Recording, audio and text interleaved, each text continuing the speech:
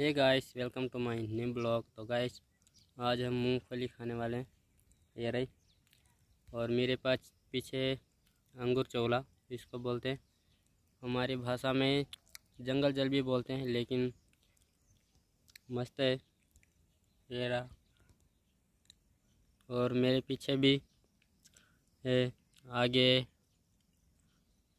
मक्की का भुट्टा है। गाय, ये रहा ये पेड़,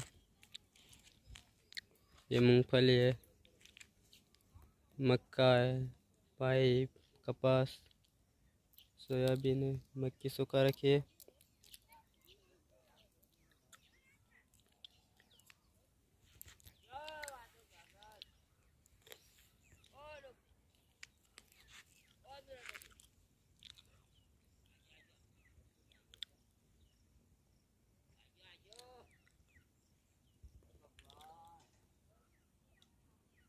ये रहा घर।